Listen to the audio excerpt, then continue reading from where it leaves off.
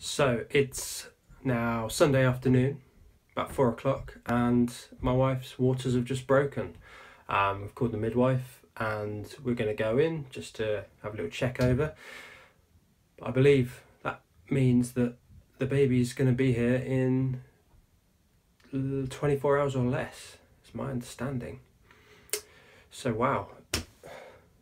Next time we speak, I could well be a dad of two. All, all is well. Um, that's it.